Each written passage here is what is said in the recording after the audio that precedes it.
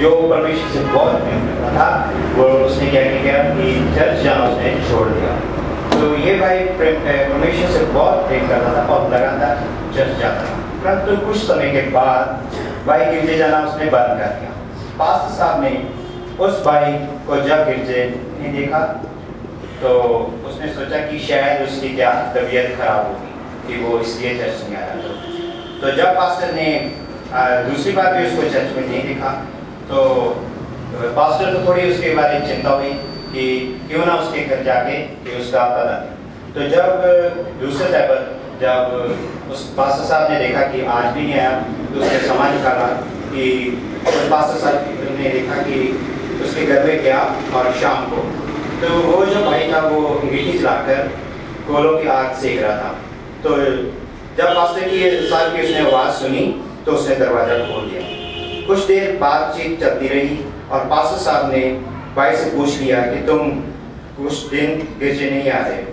तो पास्टर साहब की ये बात उत्तर देते हुए भाई ने क्या कि गिरजे जाना क्या ज़रूरी है? क्या परमेश्वर मेरे घर में नहीं रहता? मैं तो अपने घर में दुआ और प्रार्थना कर देता हूँ। पास्टर साहब ने उसकी बात सुनी और चिमटे से, अंगीठी से एक गोला निकाल कर नीचे ज़मीन पर रख दिया। और आपस में बातचीत करता रहा। कुछ देर के बाद कोला ठंडा और काला पड़ गया। पास्टर साहब ने समझाने के लिए देखो कि ये कोला उसके साथ अंगीठी में चल रहा था और लाल था और गर्म भी था। परंतु अंगीठी से बात आते ही ये ठंडा पड़ गया।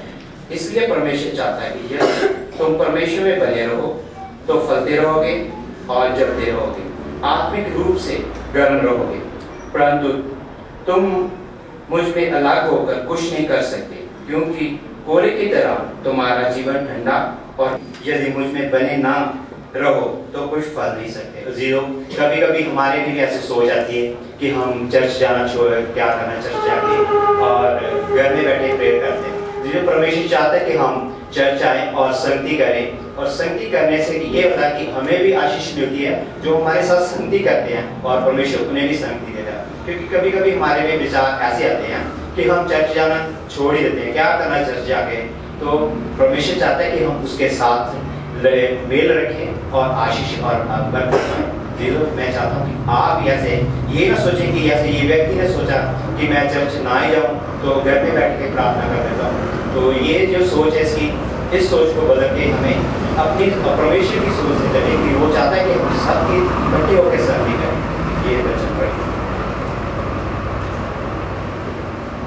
रूहे